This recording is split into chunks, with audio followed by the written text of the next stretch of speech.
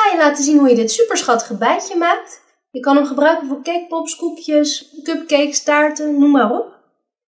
Ik gebruik hier een stukje gele fondant, kneed het even soepel. Pak hem tussen duim en wijsvinger. Gewoon een stukje. Nog even kneden. Maak daar een balletje van. En druk lichtjes met je vinger op het midden van het balletje om er een worstje van te maken. Zwart geeft heel erg af, dus ik maak eerst even met witte vleugeltjes. Pak een balletje tussen duim en wijsvinger. De grootte van een kikkerert. Snijd deze door midden, zodat je twee ongeveer even, even grote balletjes hebt. Met je vinger op het uiteinde van het balletje druk je en dan maak je er een kegeltje van. Deze druk je plat met je vinger. En dat doe je ook met het andere balletje. Weer druk op het uiteinde en plat drukken met je vinger. Leg ze naast elkaar en druk ze lichtjes vast. Voor de streepjes Pak een heel klein stukje zwart. Ook daar maak ik een balletje van. Hou je hand goed open en met je vinger rol je tot een heel dun zwart worstje.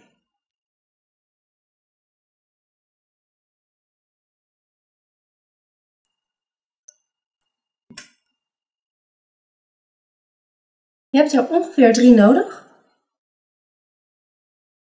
Leg de eerste over het midden van het lijfje heen en druk lichtjes.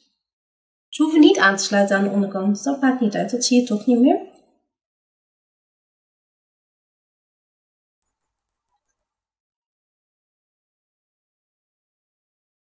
Hem op en plaats het volgende streepje erop.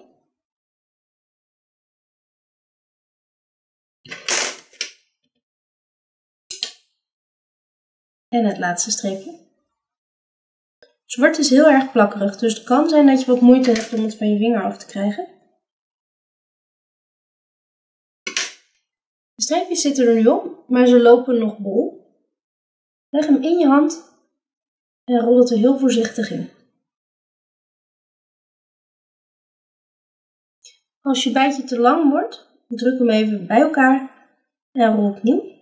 Met de Jet Black pen van Rainbow Dust maak ik ze oogjes de ene kant heeft een fineliner, maar wij gaan de dikke kant gebruiken. Aan deze kant is het meeste geel zichtbaar, dus die gebruik ik voor het hoofdje. Zet er een stipje in voor het oogje. Mondje maak ik met de Smiley Tool, oftewel de Scalp and Comb Tool van PMI. Pak hem vast en prik hem erin. En als laatste plaats je de vleugeltjes. Leg erop en druk in het midden een beetje vast. Je bijtje is klaar.